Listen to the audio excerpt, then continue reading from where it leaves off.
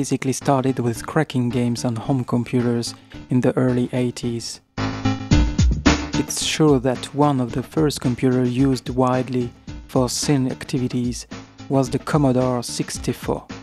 The reason of the quick success of microcomputers was the great number of game programs available for them.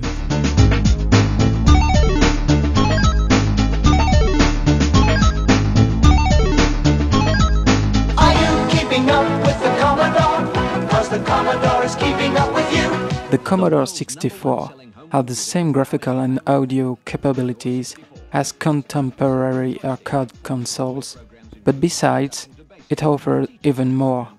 For example, it was programmable, and the most important, one could copy the game programs that was impossible to do for game consoles. Crackers started to remove game copy protections for fun and competition with other crackers. Instead of just spreading the cracked games, they soon thought about labeling their release. It quickly set up a fashion.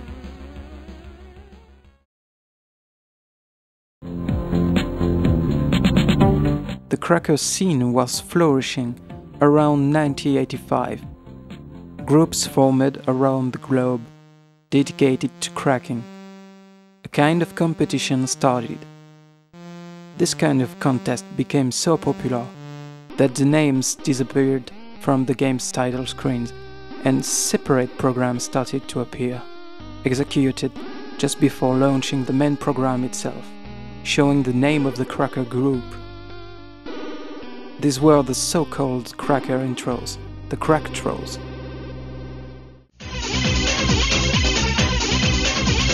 In the late 80s, the legal part of the cracking and warez scene slowly drifted away from the illegal part. Intros became more and more advanced.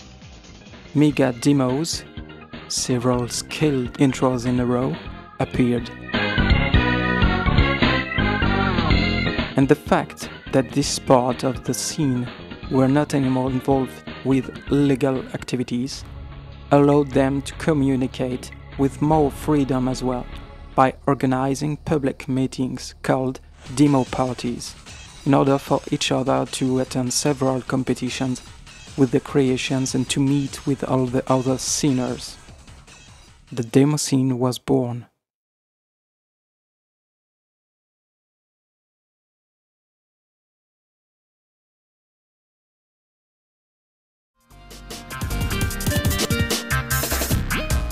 If you wonder what the demo scene is all about, should imagine a huge underground community of young people organized into groups which compete in the art of creating real-time multimedia presentations called demos.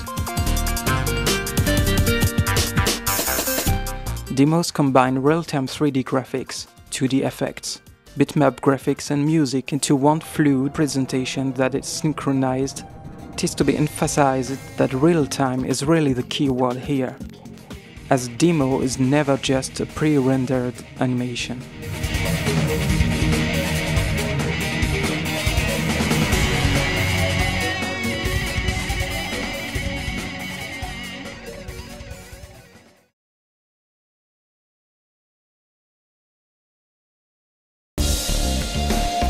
Computer demos should not be confused with the demo versions of commercial programs. There are demos too, but the word demo in this context means a program that its purpose is to show the technical and artistic skills of its makers and to produce audiovisual pleasure for the viewer. A computer demo usually includes various kinds of real-time produced computer graphic effects, which have mostly little relation to each other with a fast-paced modern music as a background. In a way, demo could be described as a sort of music video or a short computer animation film without a plot or message other than showing what the demo group is able to do. An important distinction between demos and conventional movies or video is that the visual effects seen in demos are computed real time instead of being rendered in beforehand, like computer animations we used to see from Pixar or DreamWorks movie for example, where whole days of computer time are spent to calculate just one little second of animation. Demos are mostly a group effort. The most important member of a demo group is usually the programmer, called the coder. Demos were conventionally programmed in assembler. But nowadays, C and C++ are also very popular, and only the most time-critical parts of the demos are still programmed in hand-optimized assembler. The original ideology of the demo programmers is to build everything from scratch and to push the available hardware to its limits and beyond. The routines created are the ones that synchronize the music, display pictures and graphics, or do the so-called effects. Graphics, or GFX, are the work of graphicians. This discipline used to be a hard pixel by pixel work, but it nowadays tends to be realized using dedicated hardware and software, like graphic tablets and gets closer to hand drawing. One of the graphician role is also to modelize 3D objects and to animate them in a virtual 3D world. The musician makes, creates and composes the track that can be heard while images and special effects are shown on the screen. It's usually accurately synchronized within different parts of the demo, using several rhythm changes and breaks.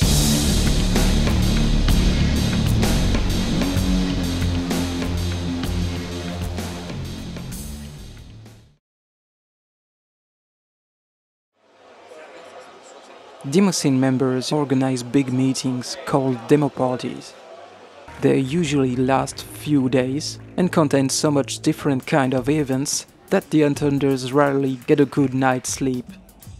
People go to demo parties to meet other Demoscene members, swapping files, sharing knowledge, watch and attend to various competitions.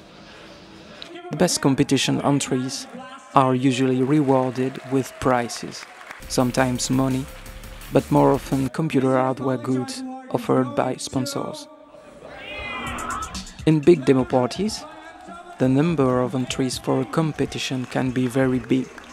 A small jury, consisting of scene members, first review the entries, and a limited amount of them are then shown to the big audience.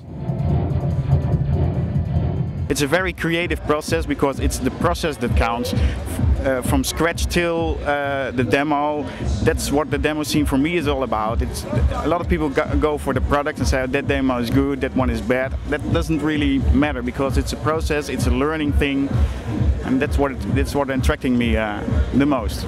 I've been also, I'm part, I'm the founder and part, I'm everything about the Epic Tour, Epic Voyage. I'm been traveling around seven demo parties in, uh, in uh, during this summer and it's this unconditional love for the scene and for the sceners and for the amazing productions and for this unique subculture which is the, the demo scene people are coming from all over the world, um, as far as Canada or whatever. You have you have people from all over the world coming here and uh, gathering and uh, that is that is very important um, and it is something that needs to be supported.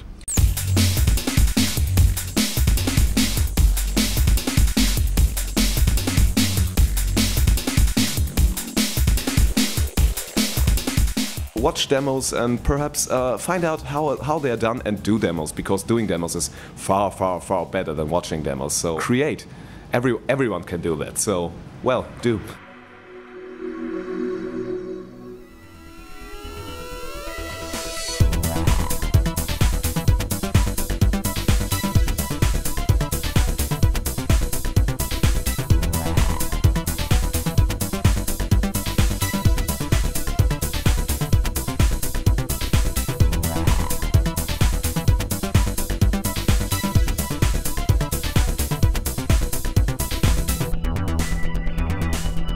make more demos, make good demos, make funny demos, make happy demos, make fast demos, make slow demos. I don't care, just make it good and make it yourself like it. Thank you very much for being here, being part of all of this, competing, having fun, drinking.